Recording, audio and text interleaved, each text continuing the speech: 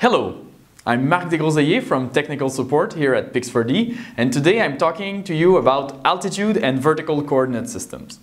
Well, what's a vertical coordinate system? It's a way to measure the altitude. This can be done either in a relative way or an absolute way.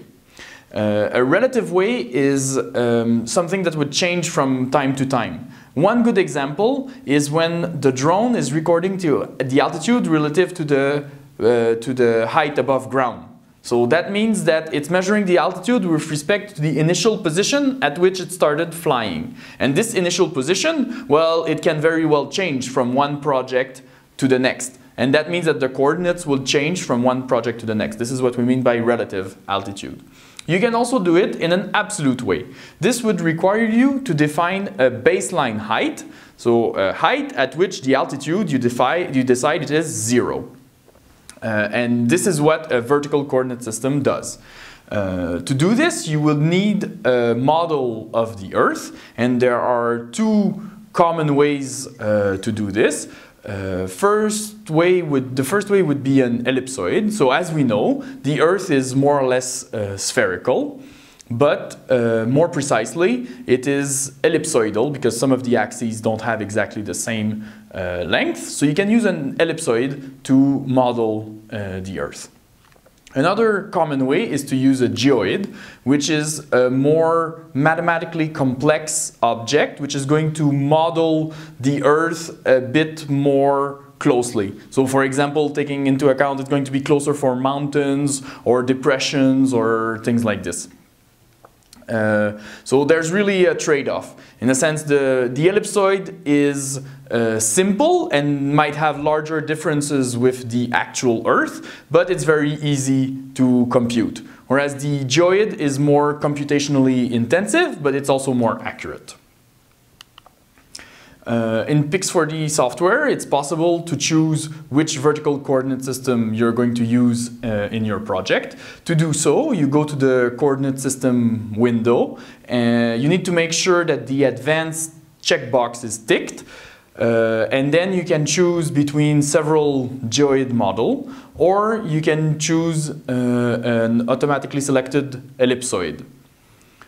If you have a different uh, vertical coordinate system that you would like to use, this is also possible. What you should do is you should compute the difference at your location, at the location of your project. You should compute the difference between the ellipsoid and the vertical system that you would like to use. So if there's a 20 meter offset between these two at your location, then you should use the height of the geoid above ellipsoid uh, function and you can enter 20 in this field and then this will raise your project by 20 meters and so it will use the vertical coordinate system that you would like uh, to use.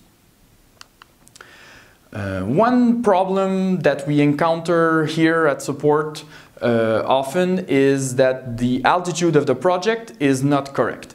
And most of the time this is because the EXIF information, so the altitude information that's written in the images is not correct itself. And so the whole model is going to use this altitude information and so the whole model will not have the correct altitude.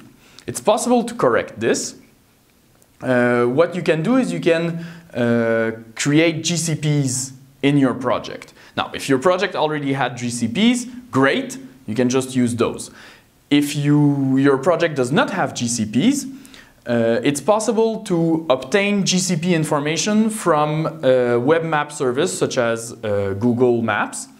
Uh, in this case, it's important to remember that the default accuracy of the GCP in the software is set to two centimeters and that these uh, GCPs obtained from web services, they are typically less accurate and we recommend using an accuracy of the order of 3 to 5 meters.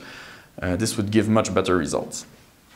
Now, when, if you decide that you want to import uh, the GCPs, what it will look like is something like this, where you have your project, which is at one altitude, and since the altitude of the project is wrong, the, it's not going to match with the blue crosses which represent the GCPs.